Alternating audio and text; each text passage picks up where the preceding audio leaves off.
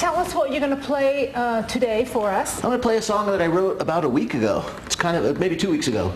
It's kind of a new song for us. You know, Oh, I'm glad it's been written at least two weeks ago, Scott. Yeah, they've been together for 24 Yeah, okay. hours. This is an old song for you. I'm you always most excited about the newest song I wrote. So this is the newest song I wrote. I, it doesn't have a title yet. I call it the uh, Unrequited Love Song. Ah, it's all yours.